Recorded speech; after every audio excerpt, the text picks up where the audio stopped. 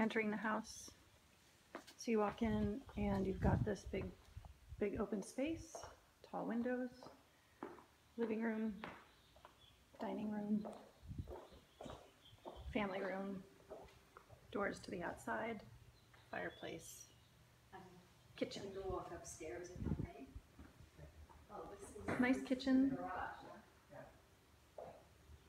Not huge, no hood, but it looks like you could probably add one, maybe.